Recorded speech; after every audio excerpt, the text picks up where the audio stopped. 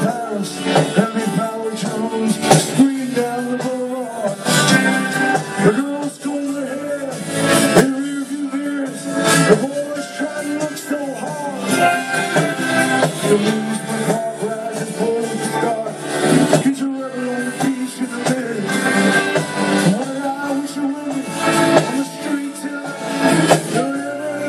sentence.